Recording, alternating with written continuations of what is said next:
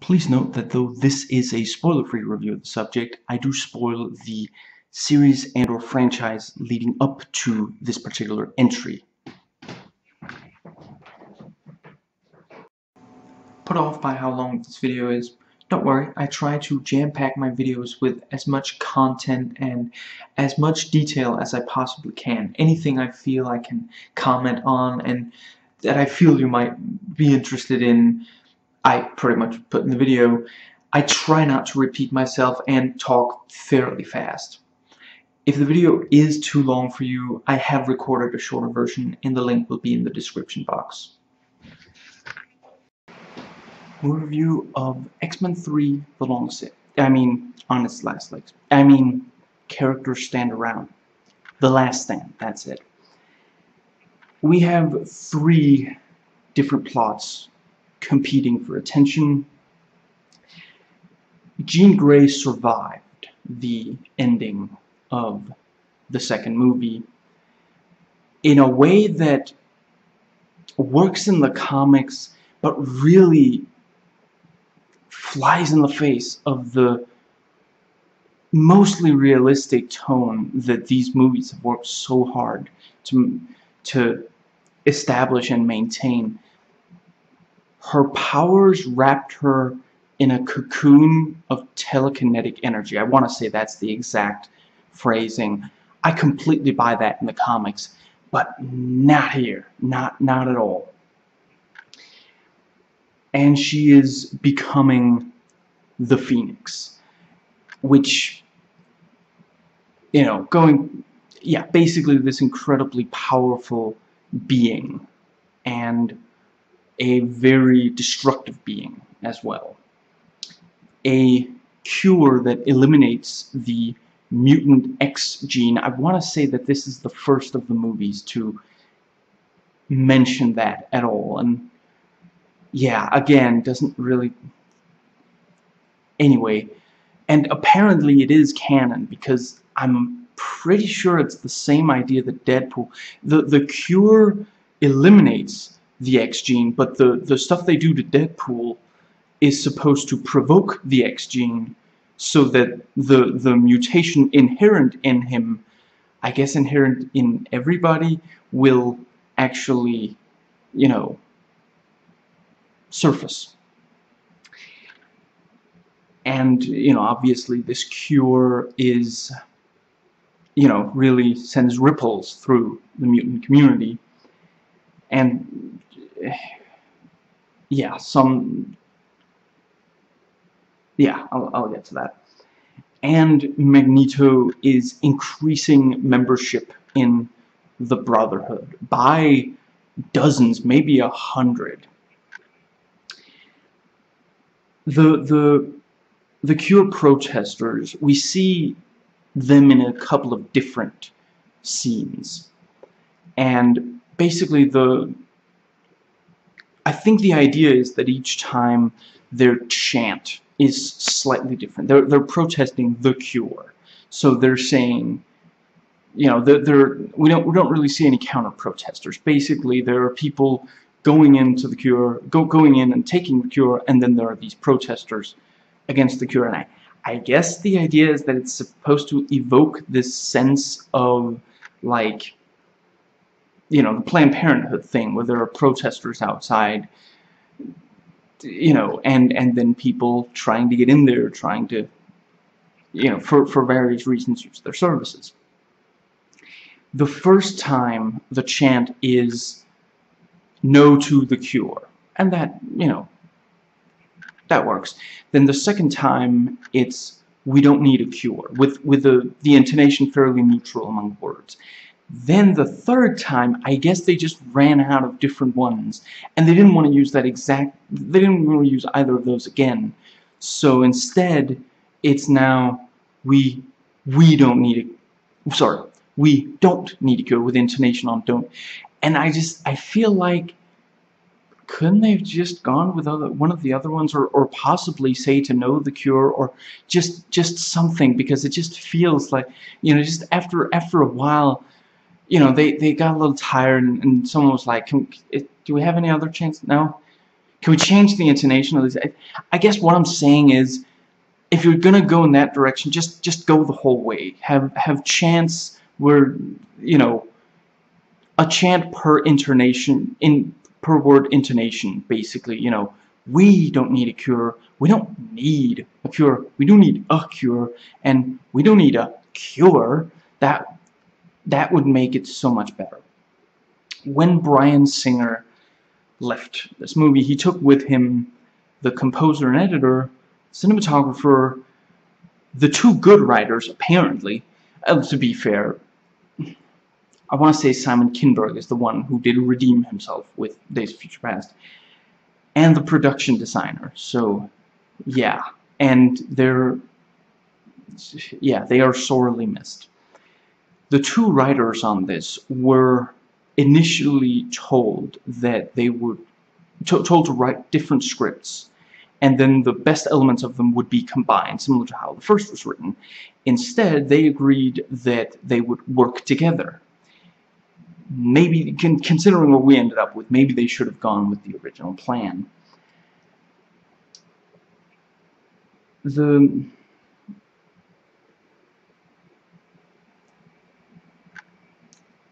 Brett Ratner was just the the wrong choice for this. Basically, he part of the reason he was chosen was because it was going to be it was clearly going to be a really rushed production, and he had done a good job on the rush production of Rush Hour. I don't think that he really I think it's it's probably giving him too much credit to say that he should have known that he didn't have you know he couldn't produce anything as smart as the first two. And basically you know he just he thought hey this looks like it might be some fun action. And and he clearly you know others have noted this has some of the best action. And if you if you completely turn off your brain and just watch the action scenes you know they're they're generic. They're it's it's like the Men in Black three thing. Some of these action scenes could be in any movie. There's there's a scene where Wolverine charges this guy who's growing like bone, you know, elongated sharp bones out of his arms, and then he breaks those off and throws them at Wolverine. And what it boils down to is he's essentially just it's it's an assassin using throwing knives. It might as well be, you know, I want to say navajas. Man, it's been too long since I watched Desperado. But you know, just it's a, it's a knife throwing character. That's all. It's there's no reason for this guy to be a mutant. It's yeah, that's he. He might as well be, you know, grabbing these knives out of a belt or something. So so yeah, generic, but you know, it's it's fast paced and filmed well and yeah. It, it was basically the the studio messed up by giving him the movie basically and I don't really I think he did care and I think he did as well as he could and like in the commentary track he sounds like he's fairly satisfied with it although you know I suppose directors on commentary tracks aren't necessarily going to admit if they think they did a terrible job. Although apparently, according to that one crack video, Joel Schumacher did admit that in the Batman and Robin commentary. Basically,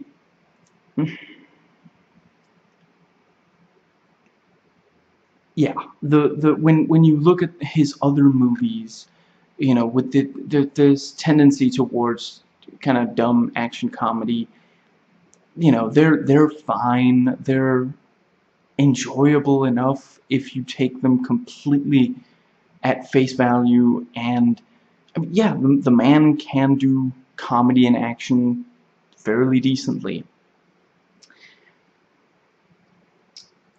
Now this is based on the comic books the, Dark Phoenix saga and Gifted. And you know, this movie has the the fastball special, I want to say it's called, which is in a number of the comics, but actually in the Dark Phoenix comic, they do a reverse one where instead of Colossus throwing Wolverine, Wolverine throws Colossus once, and yeah. And as others have noted, Colossus has one line.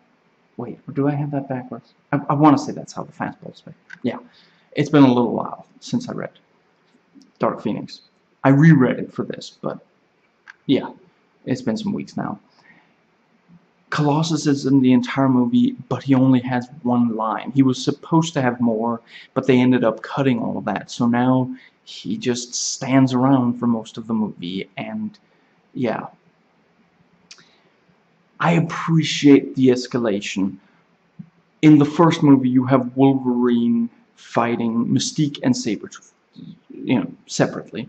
In the second one, you have him fighting a dozen, you know, human, like, you know, a dozen of Stryker soldiers, you know, in a row. And then in this, he fights at least a dozen mutants total and half a dozen in a row in one scene. The problem is that the scenes aren't very good. And again, he'll, you know, he'll stab and cut people, yeah.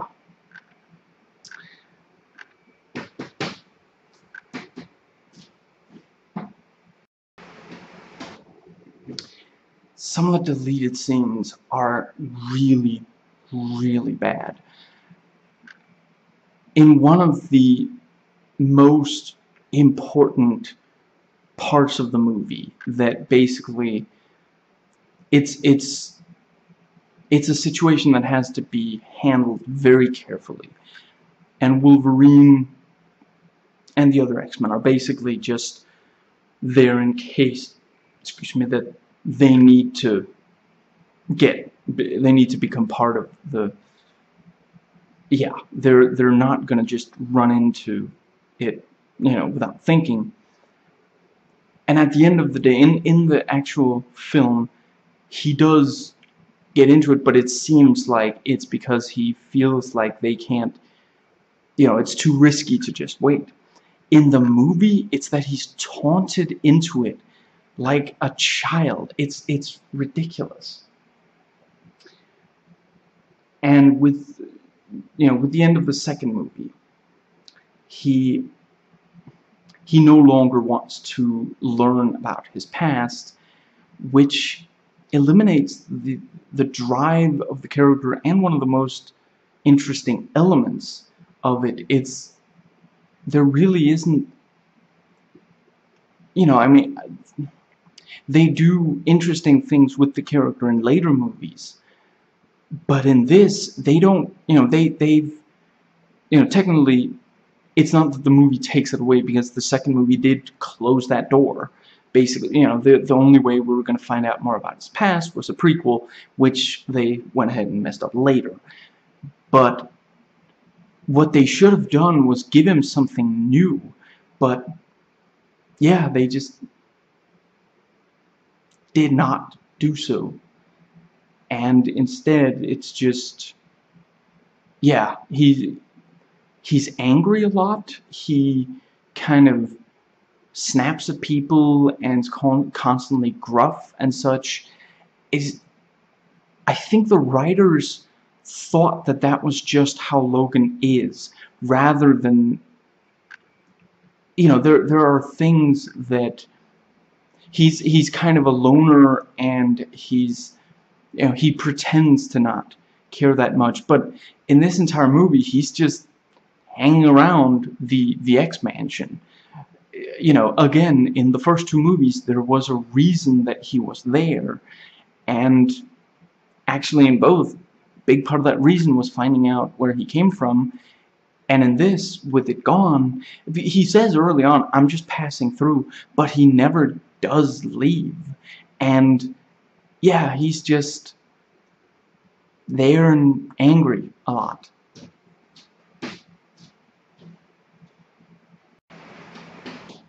I suppose part of the reason is supposed to be that, you know, with Jean coming back, yeah, but their scenes together are not that compelling and really he doesn't it doesn't give him a lot of drive. He's he ends up very reactionary.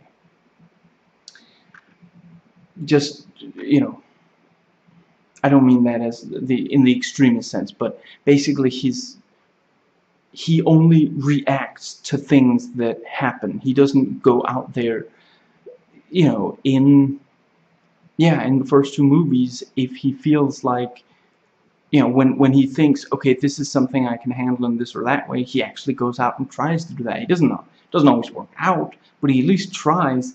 In this he's just waiting around. It characters in this really just wait around for things to happen that they're that the writers have figured out how the characters should react to.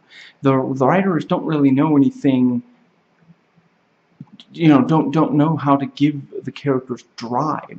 They're always just reacting. Things things happen and work out in a way that gives them a course of action but it's not it's it's dumb luck.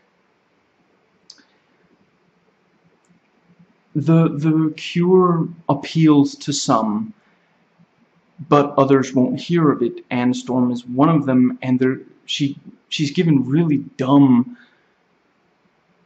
borderline offensive lines like she she legitimately says what kind of coward would would take this cure.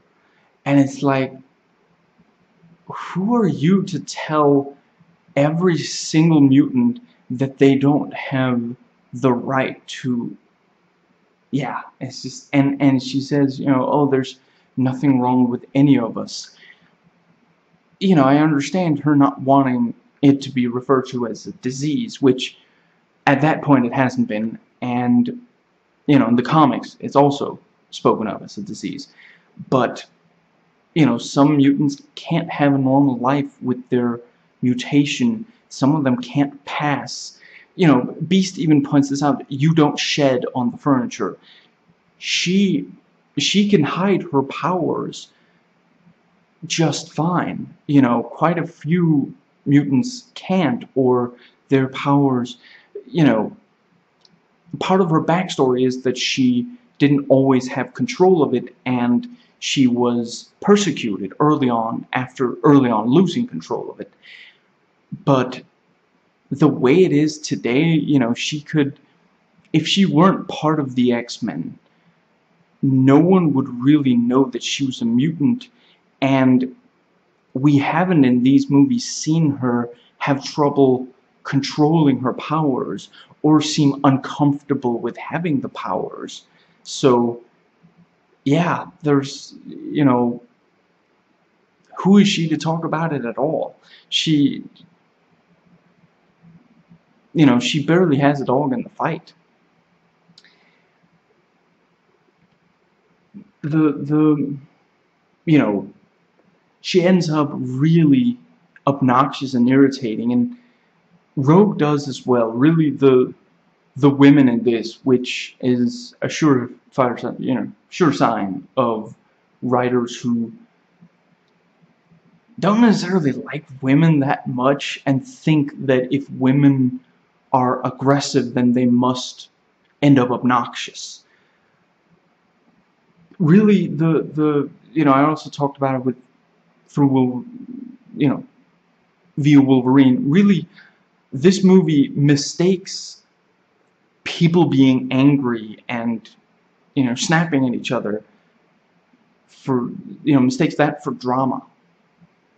Storm's action is pretty good. There's more of it. There's more variation to it. It's more fast-paced. They even give her a nemesis although how this other character is supposed to be much of a match for her is anyone's guess because all it is is that she has super speed, but yeah. Like I said, this is in part based on Gifted, which, funny enough, actually mocks the black leather of these films. So, yeah. And in both the comic and this movie, the cure is forced upon a mutant. Beast is clearly interested in the mutant, in the cure, and there is some, you know, it, it seems like maybe Beast wants the cure for himself.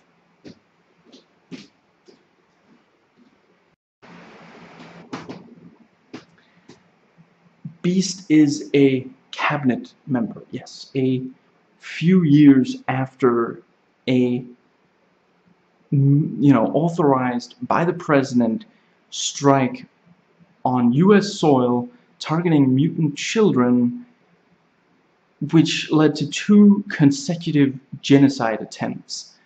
I, I don't buy for a second that this soon he would, you know, someone so obviously a mutant would have such an important position.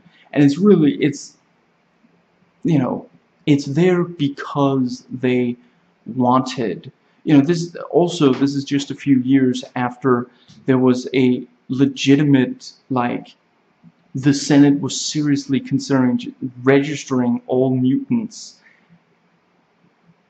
which was, you know, painted as, well, we can't trust them. So it just, yeah, it's way too soon. And it's, yeah, it's, it's written that way because they wanted that to be the way, not, you know, they don't even attempt to make it sound like it makes sense.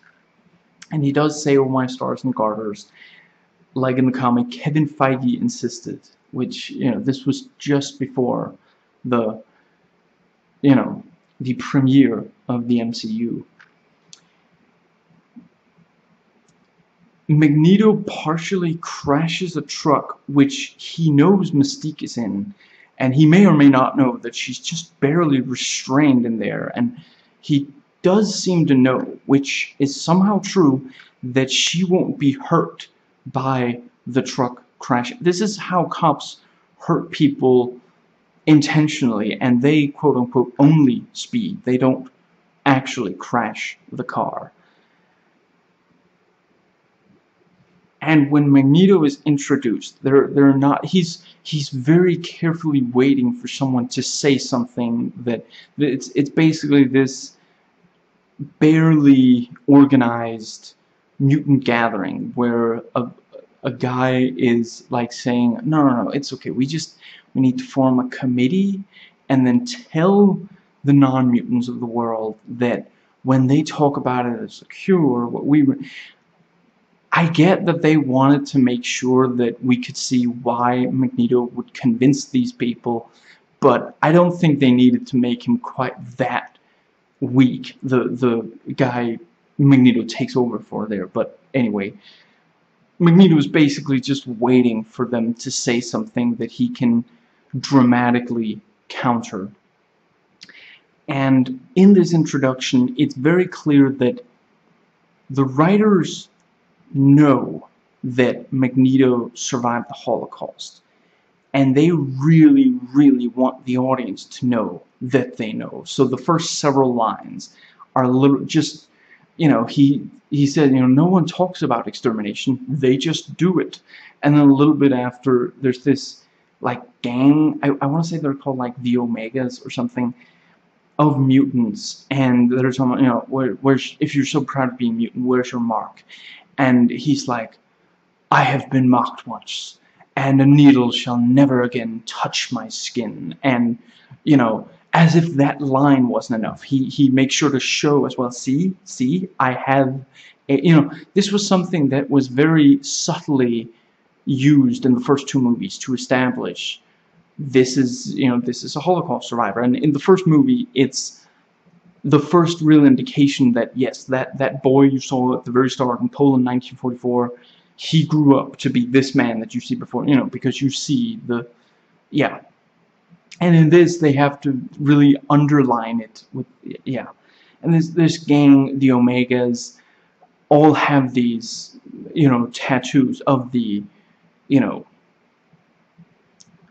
I guess the, I, yeah, I'm not certain where the the but but yeah of, of like you know and a tattoo that very distinctly says Omega. And I think this was ma mainly so that they could have you know it, it ends up basically forming an arrow pointing down the cleavage of one of the members, the the fast runner, who, you know, not long after this, maybe a year after or so, would appear on Heroes as the you know the woman who, when she gets upset, people near her die.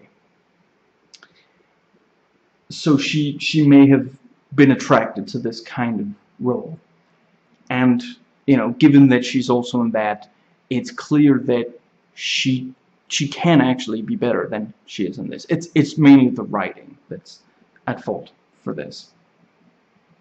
This movie's, yeah. And you know, Magneto's turned cold and figuratively speaking ugly, and they completely eliminate this kind of catty quality that he had in the first two. And it's like I again I don't know if they just if they didn't realize it or if they didn't get it. I suppose it's possible that they just didn't like it, but it's completely gone. And it really like you know whether or not you like it I quite I really like that that aspect that he's always this kind of catty. And Mystique is at times as well but she speaks much less than he does. He likes to to talk a, a lot you know but at least it, it was it was a significant part of his character. It was ever present. He was always, you know, speaking in this sort of, as what I say, and and yeah, just the the you know basically Magneto is now in he's he's someone who causes a lot in the you know yeah he he really drives the plot forward and he's a very destructive, very dangerous presence, much like he was in the first movie, when really, given that they're dealing with Phoenix, that, that they're tackling the Phoenix storyline, he should have been, you know, less, yeah, he should have been closer to what he is in the second movie, where he he helps out and he's he definitely he has a presence, but he's not because you can't have Magneto the focus when you're also doing Phoenix.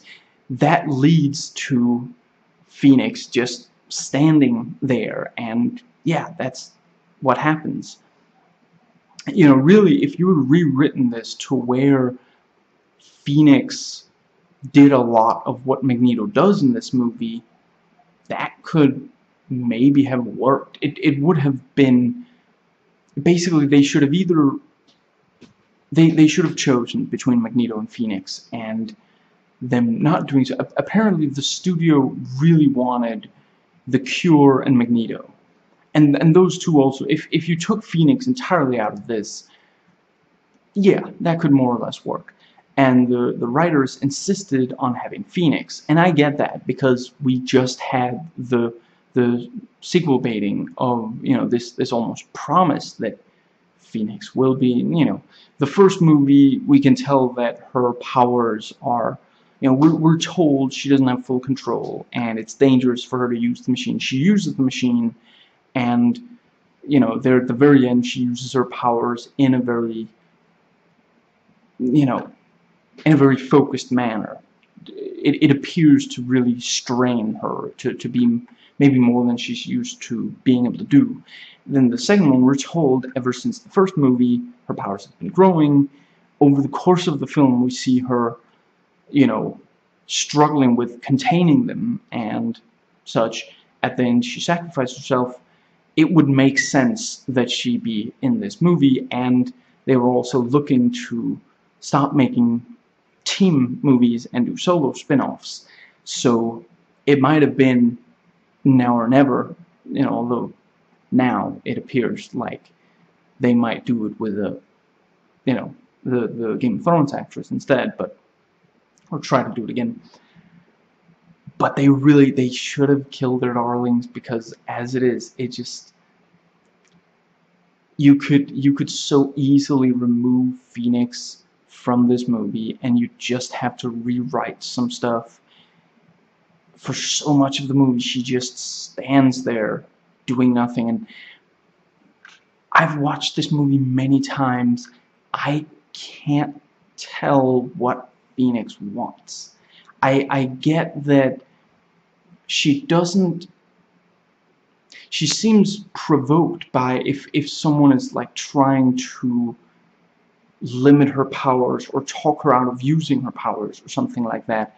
But other than that it doesn't really seem like she has any drive where the in the comic it's you know it's basically this kind of power corrupts thing where she's she's so drunk on how much power she has. There's one point where she just flies out in space because she can because she feels like it. And that makes sense you know and that's compelling that's scary you know to see someone you used to fight alongside used to love suddenly be this you know just doing whatever they feel like and killing people. And yeah that and in this it just feels like she doesn't yeah she doesn't have any real drive either there, there are several things she does where we never find out why she does them at all the to, to return to, to Magneto's role, I understand maybe they didn't want to do Magneto having as little of an impact. You know, being, let's, let's say, bit player, like he was in the second movie, they didn't want to do that two movies in a row. Maybe they wanted Magneto to really dominate in the last big team film. But yeah, and, and I, I do understand. It is the, the kind of thing where as long as Magneto is alive, you, you kind of have to deal with him in the films. You have to figure out something for him to do. And part of the problem is, in this, it's not that different from the first movie. It's, it's almost like the, the reverse. He hates the cure. He thinks that it's an awful thing. So he's basically it's it's kind of like the reverse in in of, of the first one. In the first one, he's trying to turn humans into mutants against their will to influence how you know yeah how mutants will be treated around the world by the powerful. In this, he's trying to prevent humans from turning mutants back into regular humans and he's also like talking about he you know they'll they'll have it in control. They will, they themselves might use it against mutants that oppose them. So yeah, they just reversed it, and that's it. There's, you know, at least in the first movie, it was like, okay, he's trying to, the way he sees it, you know, it's it's worth risking killing a lot of people to improve, to, to for sure improve the, the status of mutants worldwide. You know, you it's it's one of those great villains where we understand and maybe even almost agree with his goal to to you know as he says that he just wants you know in in reality he wants mutants to be treated as superior to, to humans not equal but if we said he wanted to treat he wanted equal treatment then yeah, you know, we agree with his goal, just not his methods. But in this one, it's just, I guess, world domination, of course. Yeah, it's, it's, and, and that's the thing, you know, the, the, and then the later movies, of course, you know, in, in Days of Future Past, he's almost, you know, it's, it's, it resembles the second movie, but then there's still some, you know, I'm not going to give that away here, but yeah, they, they still do something interesting with it. You know, first class, it's just that he he's basically just one of the X-Men there for a while. And then Apocalypse, you know, I suppose I shouldn't give that away, but yeah, you know, the the it's always a challenge to to figure out how to deal with. Really, it might have been the smartest to to kill Magneto off in the second movie so that they didn't have to keep dealing with him. But as it is, you know, and in this case, it was only that they had to deal with, you know, yeah, th this continuity, Magneto, basically, I mean, yeah, the, the future stuff in Days of Future Past might as well not really be there, basically, but as it is in the finished film, I know that they cut some stuff, but, you know, still having him, yeah, you know, you, you do want to, you want to use him, you want to have something big with him, and, you know, he is he's been in the comics for, you know, he was there right from the start. He was in the first X-Men comic. And it's, yeah, it's, it's, and it's especially difficult in movies because, yeah, you know, I mean, if, if they did a movie where Magneto wasn't in it at all, yeah, that would, that would be really so each time they have to come up with something for him to do and you know mixed results results all along the way but yeah in this one they just said well let's let him be the main villain again just like in the first movie and I mean the the you know it they they reversed what they reversed his goal and or or the conflict situation and they gave him a lot more soldiers that's it I don't get me wrong, I understand wanting to keep Ian McKellen in you know in this and, and give him a prominent role. I completely understand that. He is ubilicant in the first two movies, and he does what he can with the material he's given here, but they really should have chosen either him or Phoenix.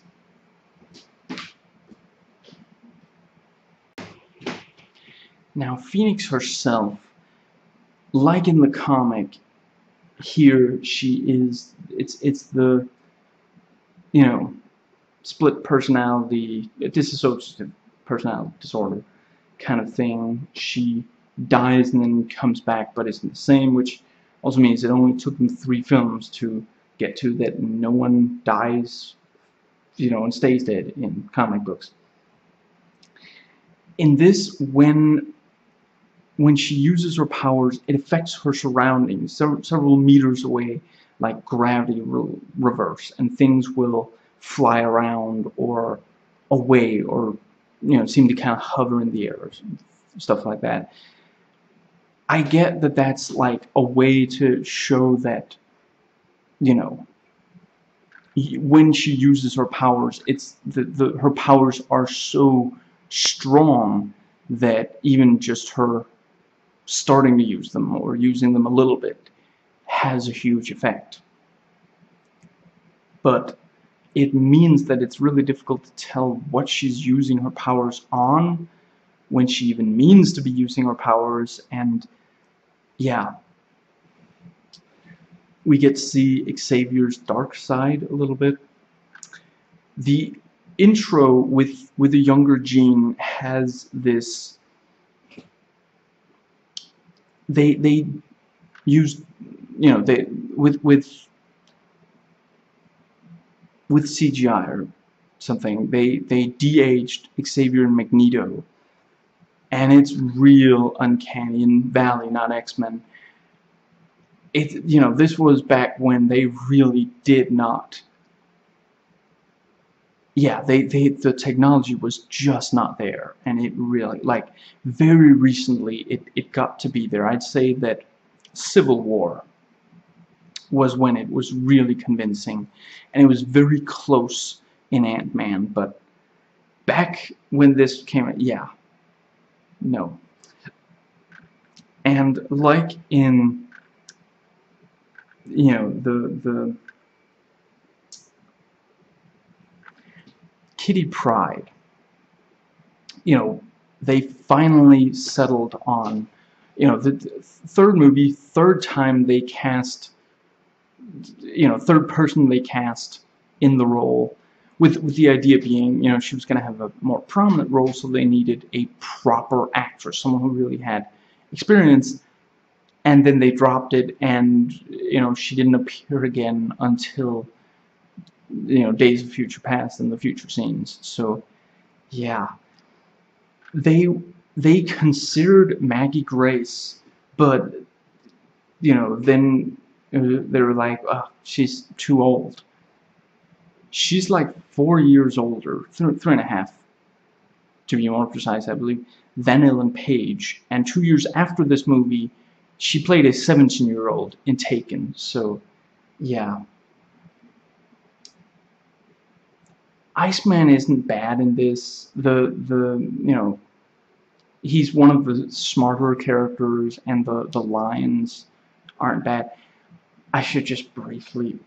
Rogue in the first two, it was this thing of they they both, you know, they they they're clearly in love, and they and well, in the first one, it was you know, in the very early stages of that, you might say, but you know, clearly they they're in they're into each other, and they're both, you know, he's not putting pressure on her, but she's, you know, this, and then in this, you know, they have her do that thing where you know she'll she'll walk you know be like walking away from him in in that kind of way of you know and and you know say yeah I'm fine. You say you're fine but you seem like you know that that kind of that cliche that they had completely avoided in the first two. And you know he, he even says have I ever pressured you? And she's like you're a guy, your mind's only on one thing. And, and right there, you know, it, it's such a huge indication of just the complete nosedive that the writing, you know, the, the specific dialogue, just the, the thinking on it, you know, they, yes, the both of them were so, you know, it's especially evident in her, so much more mature of a character in the first two, and just nobody wants to see this kind of situation. And it's also just frustrating that that's still, you know, they're still just there. There's there's no, you know, and at least in the first two, that was that meant something. There was there was drama there. We we cared. Here it's just frustrating. But yeah, Iceman, you know, he's he's one of the yeah, I I shouldn't give any details away, but you know, early on he he says that you know the the the students at the school most of us don't have anywhere to go. You know you've heard of burning bridges? Pyro incinerated my parents porch I told him not to burn anything. Juggernaut is in this, and they they have him use that that line from the you know there was this like where where some people made like a commentary on I believe it was the 90s cartoon and they gave Juggernaut a catchphrase. And finding that amusing is fine. I haven't watched it, but I can imagine it's funny. But you can't just take that and just put in the movie and use it as that that doesn't work and they try to do that and it's just ridiculous and because you know it's Vinnie Jones you know, former football player, some of the moves are very much kind of football moves, and it just looks dumb. Again, I, I get it. I get, you know, you put Vinnie Jones on screen, you want to, like, you want to see him do some badass stuff. And I get, you know, saying, well, he you know let's give him some moves that are similar to you know the the I want to say that in in Universal Soldier The Return, Bill Goldberg uses some of his wrestling moves, as far as I understand. Don't get me wrong. It's Vinnie Jones. You know, he's fun, he's cool, he's intimidating. In Snatch, Lock, Stock, and Two Smoking Barrels, even Swordfish, not here. And some more on Rogue.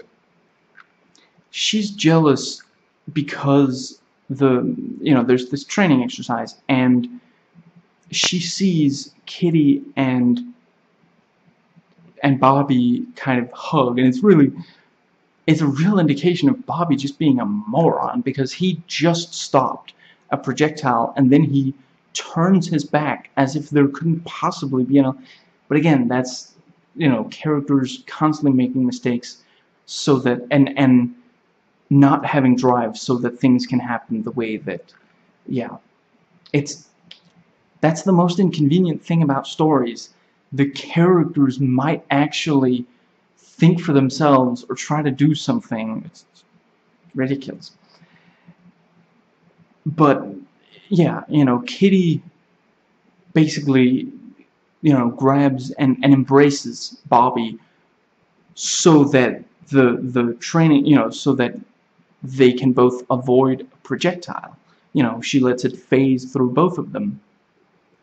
And this makes Rogue jealous in spite of the fact that she had just been, you know, not, not quite an embrace, but Colossus just touched her in order to, you know, and it's, it's that, with the same goal. In both cases, you know, the, the person, you know, touching the, the you know, touching Rogue or touching Bobby is trying to use their powers to protect the other and yeah.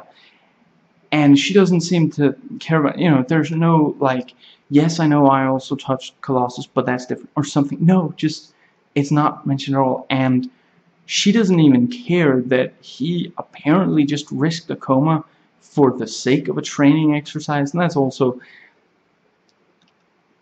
I, you know, it frustrated me in the second one when they, you know, when a lot of the the yeah, when when her power was diminished so much with no explanation for why. But at least in the second one, it led to some good stuff. In this, it's just and and she doesn't even use her powers that much. It it just makes she's one of the people who want the cure, and we can understand why, especially if her powers work the way they did in the first movie. If the if it was the way they did in the second movie, they're at least an inconvenience. But in this movie, she barely even uses them. They barely affect her life at all. So yeah.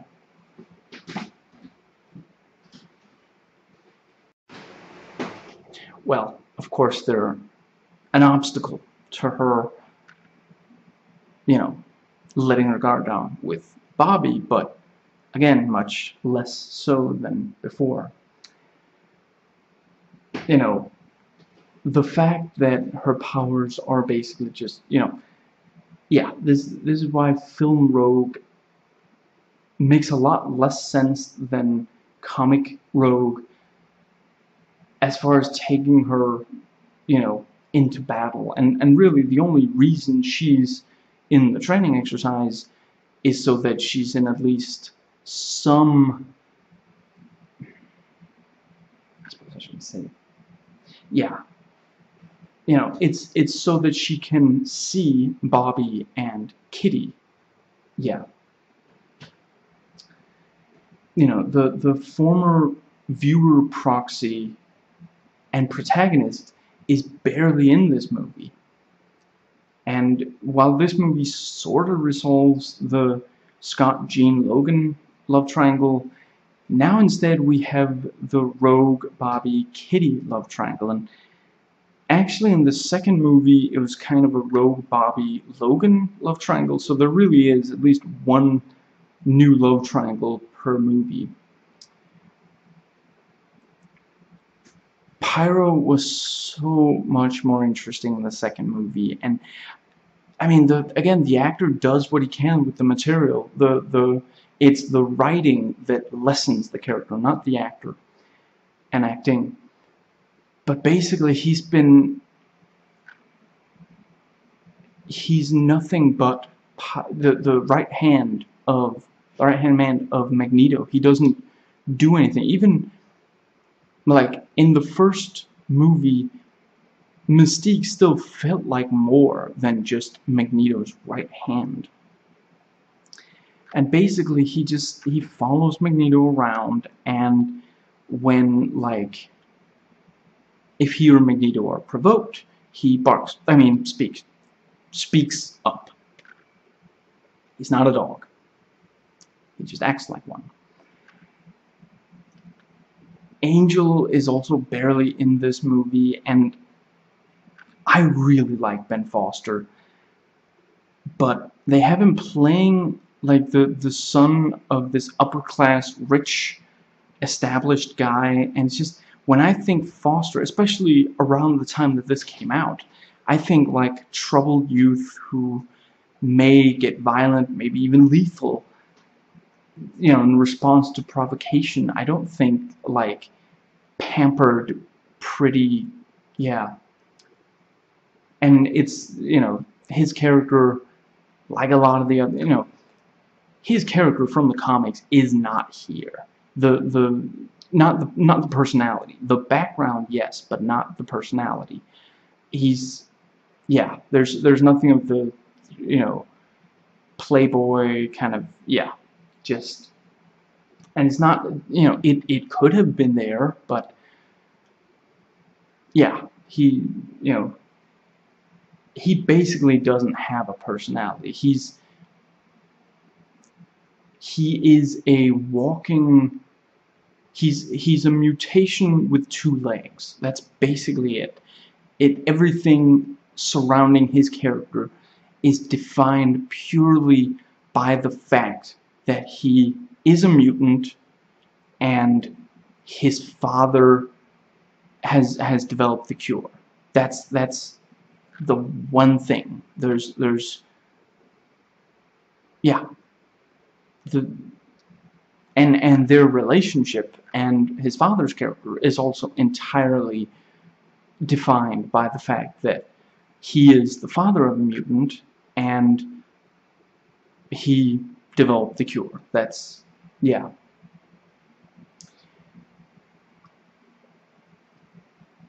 Like in the first two movies, there are X-Kids in this movie also, other mutants who casually use their powers, but in this movie, it's really dumb. And a lot of these powers, you can't quite tell what power the person has, or it maybe doesn't really make sense for them to be using it in that particular way or the like.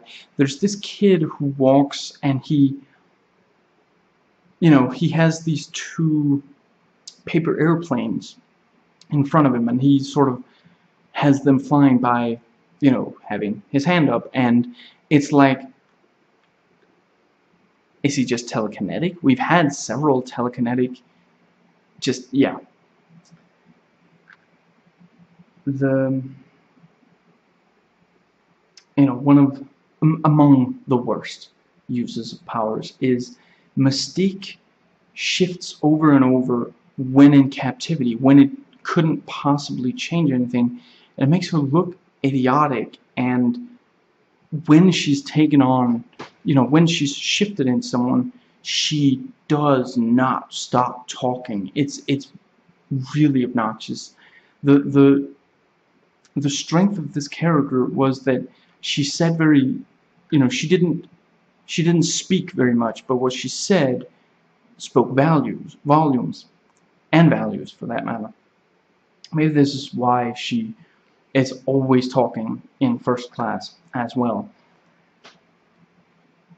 The only thing she manages to accomplish in this movie is an info dump, which she gets to share with Pyro, so he also gets a little bit to do, and, and so he wouldn't just be standing around staring in the scene, but yeah, she accomplishes nothing a computer readout couldn't have.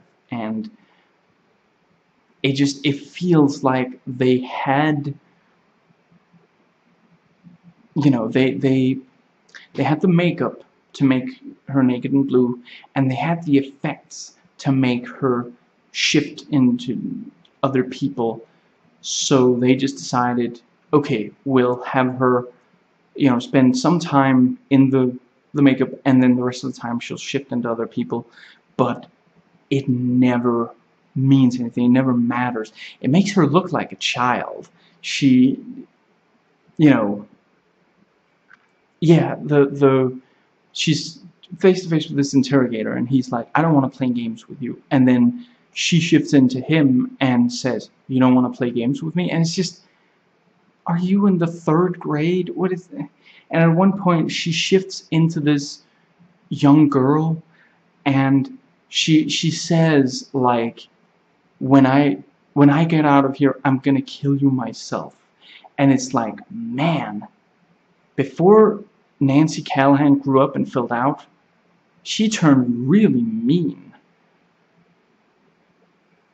And she actually has one of the best lines of her or any character in the films in the entire franchise she says my family tried to kill me.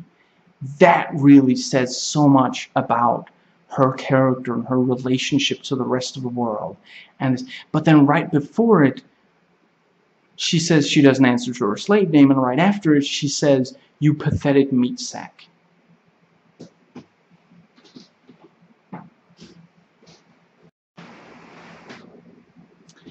there's this really ridiculous bit where basically the the two teams meet outside of the Jean Grey you know Jean Grey's parents home and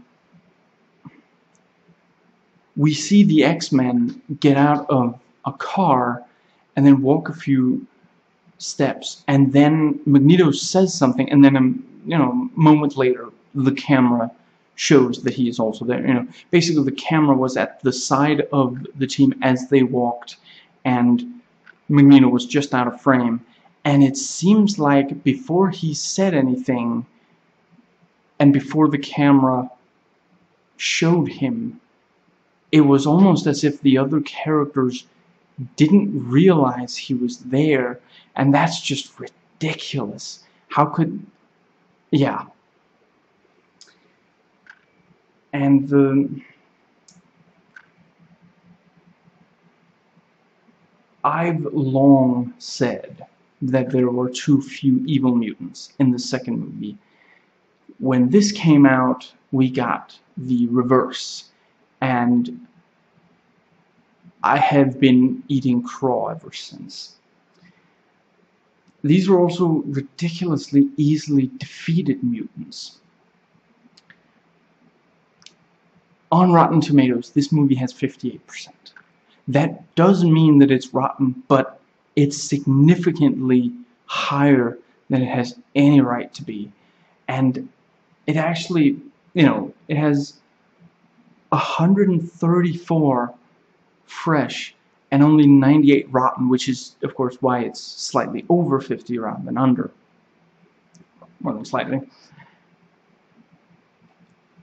and I mean I read the the you know the brief summary of, of each and it seems like a number of the fresh ones don't really take into account that the first two were actually smart, had compelling characters, were socially relevant, and intelligently explored issues. This explores issues, but not in a very smart way. It's it's just very, very like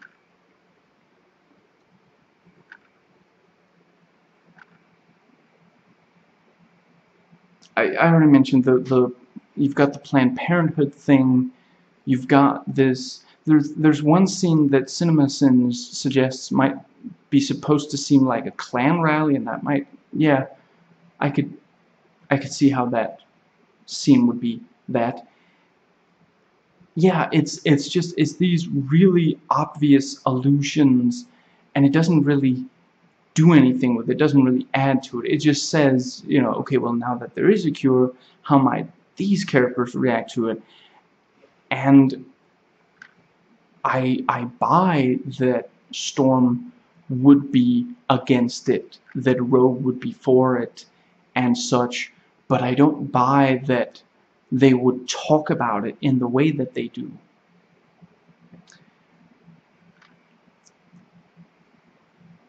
the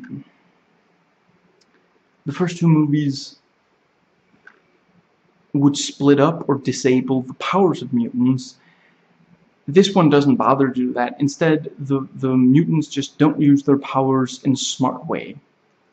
The you know the the tiny team of X-Men actually eliminate a ton of you know Brotherhood mutants each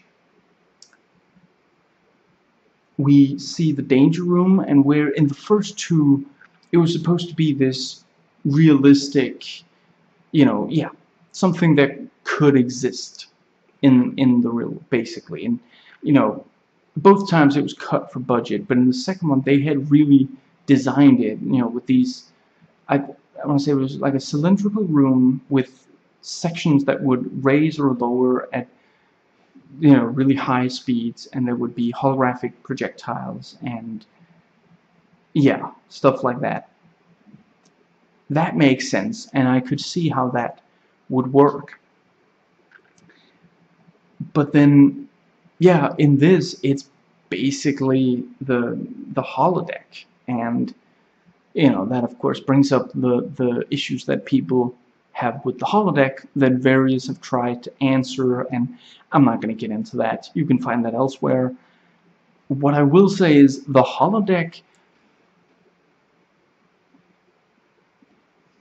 the holodeck is is quite a few you know it's it's several hundred years away from now. Having it today is is pretty ridiculous and that really the the there are other things where in this that, that are in this movie that work in the comics and are in the comics but don't work in the realistic world that this that has been set up in these movies. You know Iceman completely ices out Kitty phases down through the ground and then back up with no spoken explanation of how. Again, that happens in the comics and I completely buy it there, but yeah, just and the you know Xavier sends a psychic alert to the the various X-Men around the mansion. And actually speaking of how sci-fi the, the danger room is, Wolverine lit a cigar in there. Does that mean that the fire was real? And he basically he tears off and then throws the the head of a sentinel and I don't buy that he threw it and then it flew the way it did and then it turns out he he steps out from behind it I guess that means that he was he held on to the head as he so so did he not throw it? Did he just rip it off and then jump and then it flew that far? And I also really don't buy that he was behind the head. It's it's really and and I don't buy that if he was behind the head that we wouldn't have seen him before it landed and that he would just be able to step out from behind it as comfortably as he does.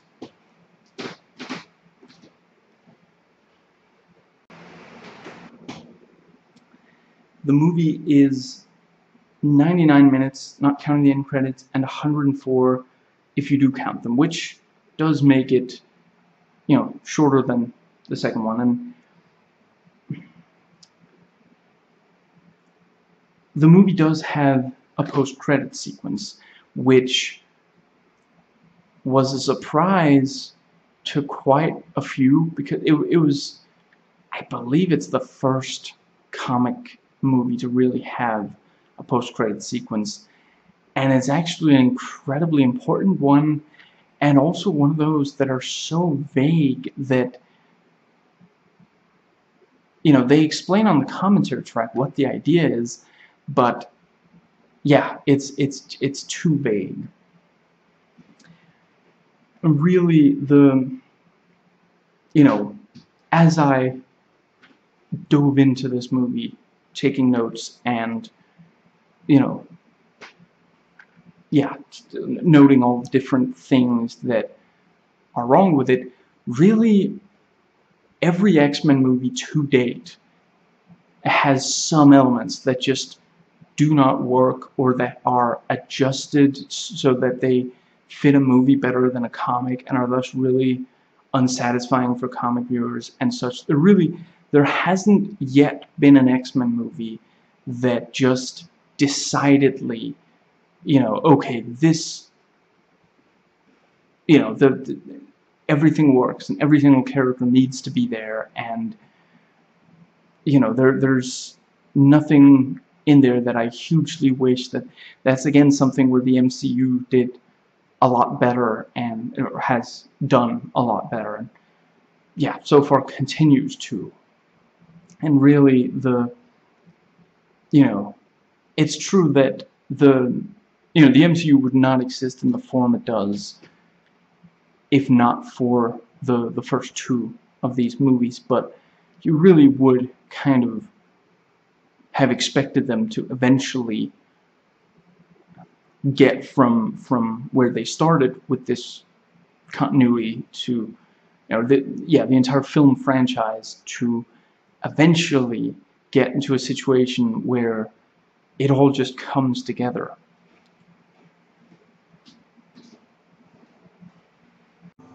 I've reviewed other parts of this franchise, the links are in the description box.